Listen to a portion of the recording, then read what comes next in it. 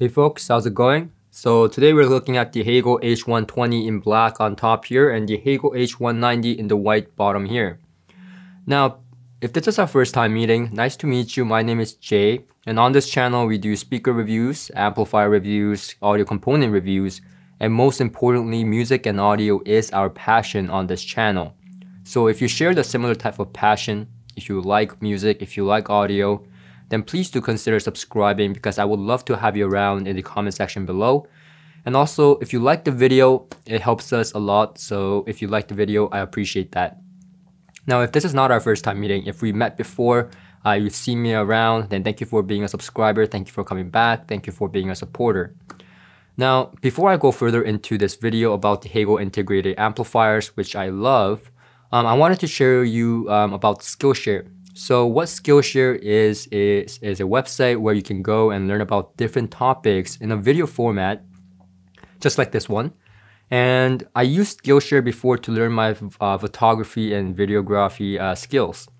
And I know a lot of people who uh, went from you know doing this as a side gig to professional. I know a lot of people who now works for Canon as a freelancer and I know a lot of people that works, uh, you know, on their side projects after using Skillshare to pursue their side passions. So Skillshare is definitely up there in terms of making people's passion possible. So I thought it was a perfect time to introduce Skillshare to my channel because a lot of people, uh, including some of my friends, don't know what to do in this situation. They're staying home. They don't have anything to do. So I think it's a perfect time to pursue your side passions in these times and um, these days, I've been learning about speaker designs and music production on Skillshare to pursue my side uh, projects as well.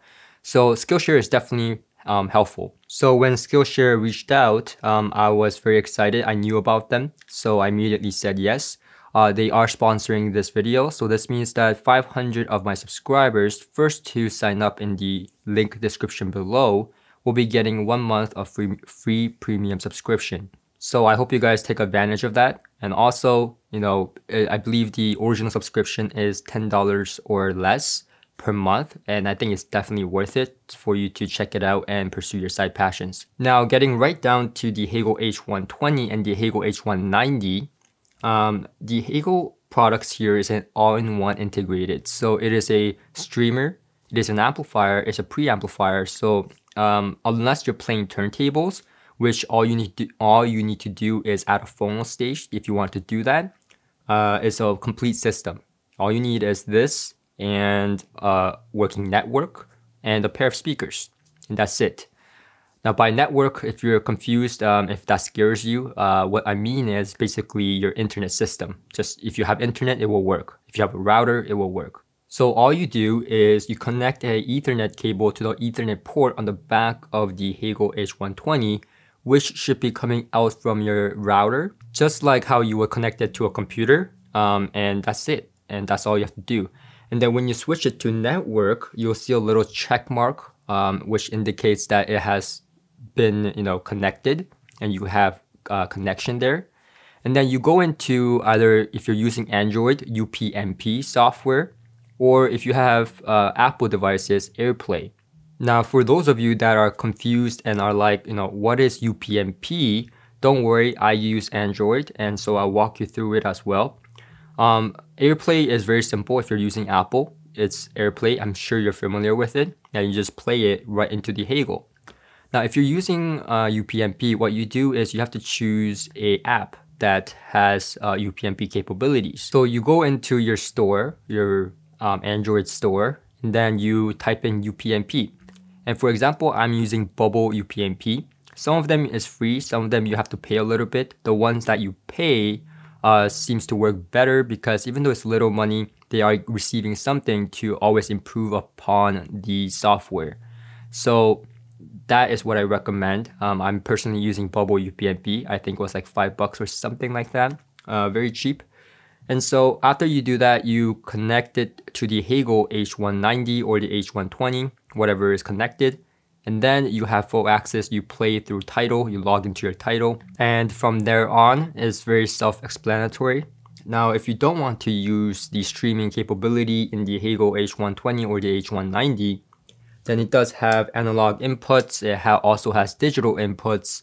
uh, so it's very versatile. It also has uh, pre-outs on both units. Also, the H120 has a fixed output if you want to use it as just a source. So if you want to use it as just a streamer or as just a DAC, you can do that with the H190. On the H120, it doesn't have a fixed output. It only has a variable pre-out, which means that you can use it as a preamplifier, but not as, you know, a full source unless you crank it up all the way into the higher volumes. Now, I do want to mention that if you have Apple TV, which I do, you can connect it to AirPlay with the Hegel devices. And that is very, beneficial and very convenient. And it's great. So I suggest you look into Hegel if you want to use it that way with your Apple TV. Now it comes with a Hegel remote, which is a black aluminum, uh, beautiful, beautiful heavy remote. But that's only you know, it, you can do volume and you can switch inputs and stuff like that. But if you're using it and you're you have it connected to your UPnP or AirPlay, then now volume is you know controllable on your device, your iPad, your phone, your computer, or whatever device you're using. You can control the volume on that to uh, adjust the volume on the screen over here on the Hegel products. So the remote becomes a little bit less of a usage, if you so will. Now, where the remote becomes handy is when you press the eco mode on the remote. And so what the eco mode is basically putting the units on standby instead of turning them off completely once you're done. And what that does is, first of all, it's very convenient because you don't have to turn on the unit again uh, on and off. And second, it keeps the amplifiers keep on running and electricity flowing so that they are on their top of their performance when you just play them instead of having to wake up uh, the amplifiers and wait for the warm-up time. So let's talk about the DAC section or the digital section on the uh, devices here. So the Hegel H120 and the H190 both uses the same AKM DAC chip. I opened it up and took a look and it was the AKM 4490EQ DAC chip on both of these units. Now the digital side uh, looks very similar, but there's subtle differences between the H120 and the H190. I'm not gonna go into too much of those details, but basically it is very similar when it comes to the DAC section. Now let's talk about the amplifier section. And so the Hegel H120 has the damping factor of 2000 and the Hegel H190 has a damping factor of 4000. Now that's a very high number. Now considering um, the the the Class D amplifier, a typical Class D amplifier, which has very good uh, damping factor rating, would be around 500 to 800. This is a lot. Even 2000 is a lot. So what does that mean? So not to get too technical, uh, very simply, its ability to control the woofers, how fast it can control the woofers on your speakers.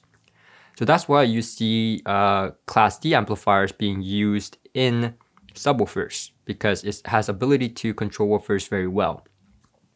So you're gonna have very good control of the woofers, obviously, with the damping factor of 2000, 4000 on the Hegel H190. Now, in terms of power output, the Hegel H120 has a 75 watts per channel into 8 ohms, and the Hegel H190 has a 150 watts into 8 ohms. Now, the H120 has a smaller toroidal transformer than the uh, Hegel H190. But you can also see that the H120 has a smaller toroidal transformer that is uh, practically dedicated to the digital section uh, from what I can see. Both units have very nice layout and also it has a heatsink to dissipate heat uh, in this case because these are, from my understanding, uh, Class AB designs. Now, I've seen a lot of people say that the Hegel is a Class D amplifier. It's not. Um, I believe it's Class AB, from what I can tell. Again, but um, the reason I think it's unclear is because Hegel doesn't really put it out there. And according to Hegel, and according to the stuff that I read online, it seems that they have this as like a new technology, and it's not exactly Class AB or Class A or Class D, but it's a hybrid between a Class A and a Class AB, and they call it the best of both worlds. So I leave that to your own accord. Um, I think Class AB is just perfectly fine to classify. Now, Hegel has something called a Sound Engine 2 technology on these devices that they make. And so what Sound Engine 2 technology is, is basically, it's like a noise canceling headphone. It works in a very similar way. So it takes the input of these, the, it takes the input signal and the output signal of the amplifier and it compares it and takes out all the noise and sends it, sends the, sends the output to the speakers. So what you end up getting is basically a cancellation of any type of noise that would be uh, going into your speakers. So it works in a very similar way as a noise cancelling headphone. So for example, noise cancelling headphones, how it works is it has a microphone and then it picks up the outside noise and cancel it in a reverse phase, uh, just like how the Hegel does it, and it cancels out the outside noise. What you end up getting is a very black background and a very quiet environment uh, within your music. So there's less distortion and there is less noise for, for it to be intruded. Now, some of you that know a little bit more about amplifiers will say, well, that's nothing new. Uh, we've seen it before. And you're absolutely correct. You've seen it before, and I've seen it before. Uh, we've seen amplifiers do this. But the way I like to see it is, um, you know, for example, with noise canceling headphones, we see a lot of companies make noise canceling headphones, but we go to certain ones like Sony, Bose, or um, whatnot, because we know that they do it the best. There's a lot of Chinese manufacturers that make noise cancelling headphones for like $50 or less. But we don't go to those ones because even though it may work, it is not reliable and it may not work as well. So we definitely rely on certain brands to do certain technologies correctly. And Hegel does that perfectly. In fact, Hegel uh, has done 30 years of research into developing the sound engine technology where it's at today. And according to them, they spent over millions of dollars to develop this um, and improve upon the sound engine 2 technology. So they do it best, and that's what they're known for. Now, in terms of sound, how does this all translate in terms of sound? Well, First of all, you're gonna get very dynamic sound. The bass, the grip, um, the definition in the bass is what defines Hegel. The mid-range is going to be soft and it's going to be relaxing and it's not gonna be shouting at you, but it's going to be like a holographic presentation, much like the ones that you would get from a tube amplifier. But it's not exactly like a tube amplifier. It's a little bit less holographic but nonetheless it's still holographic for a solid state device. The background is going to be extremely quiet. The instrumentals are going to be excellent representation and tonality to it. And then overall, it's just going to be an easy going presentation and without hurting your ears and without any type of, type of fatigue, it's going to be a very easy recommendation, especially in the bass and the mid ranges. Now, when you get into the high frequencies, it's going to be depending on where you're coming from. Now, if you don't care too much about how bright a presentation is, the Hegel is perfect because it's not bright at all. In fact, to some of the people that are coming from a little bit more brighter presentation of an amplifier, um, you will find it that this amplifier is a little bit on the uh, on the more rolled off side than these amplifiers. So it's going to be tad closed off on the top end but this can be all fixed with right pairing of your speakers. So for example, if you have Focals or if you have ELAC um, 407s, then those speakers are a lot more airy on the top end than other speakers. So you can pair it with the Hegel and had great success doing that and you get a lot of air without any type of sibilance or brightness added to the chain. Now, when it comes to these overall sound characteristics, um, the H120 is going to be slightly more neutral and a little bit more cooler than the H190. The H190 is going to be a little bit more warmer in presentation, will have a little, little bit more gut to the sound than the H120. The H120 is going to sound a little bit more cleaner than the H190 in comparison, however. Now, putting this all together though, the Hegel has a house sound. So you're not deviating too much away from that. Whether you go with the H120 or the H190, the sound is going to be very similar. You're gonna get that Hegel presentation. So that's what I like about it. There's no surprises. It's not like one unit is bright and one unit is, you know, warm as hell.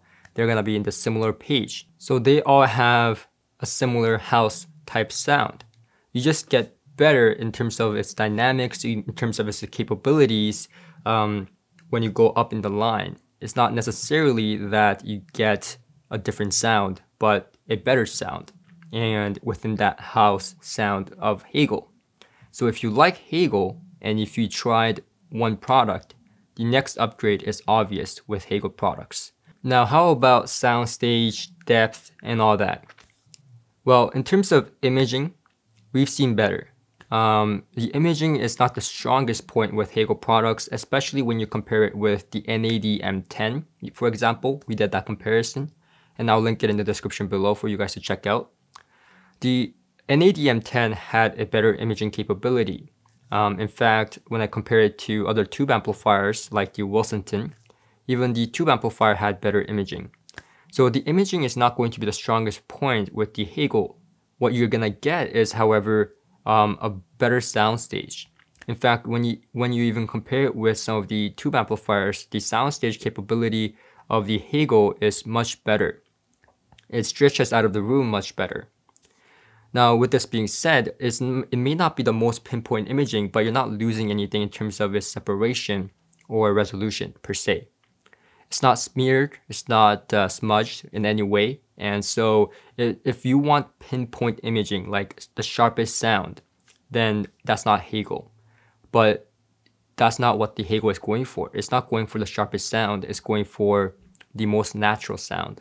And that's what the Hegels are known for, and that's what I believe it sounds like. It sounds natural. And even the most basic Hegel model um, is able to drive very difficult to to drive speakers.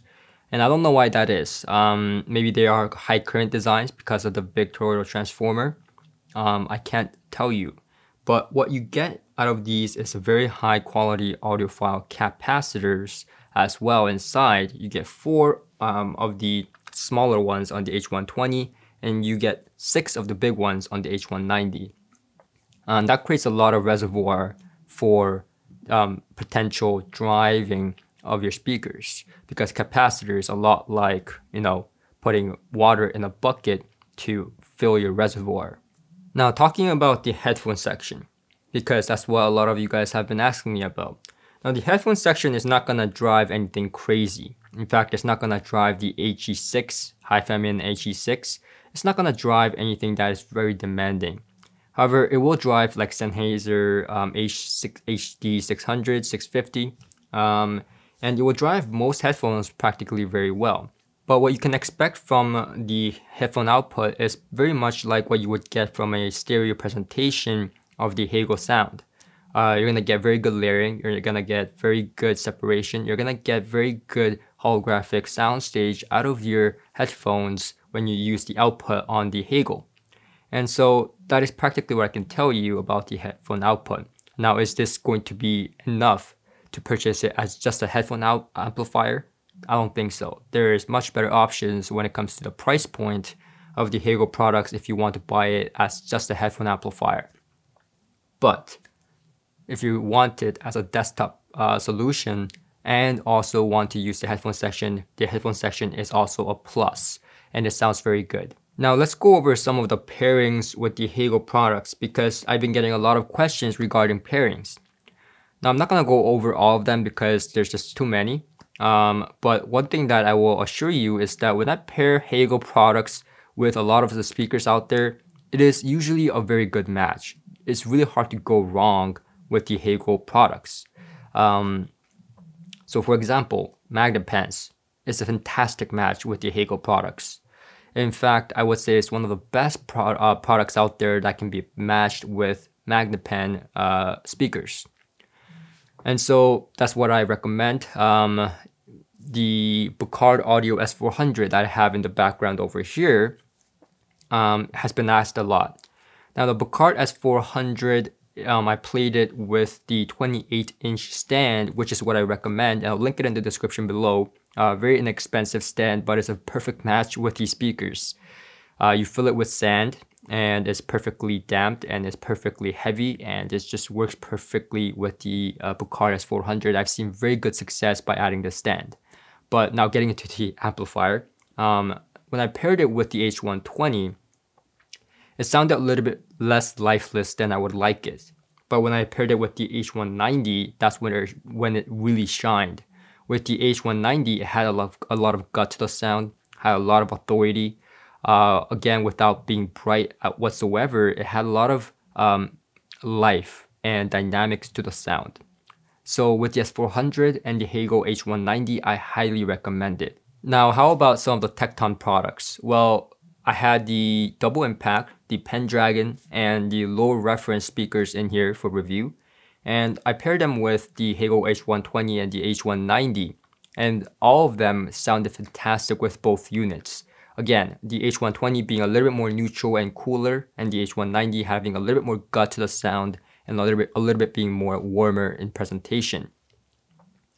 Now Focal, same thing. ELACs, same thing. Um, the ELAC FS403, the 407, the Vela series that I had in here when paired up with the H120 and the H190 um, was very, very nice because without being bright, it had air to the sound and it, I really like that. And so that's what you're gonna get when you pair up a rather um, airy or a little bit more brighter presentation of a speaker to the Hegel products.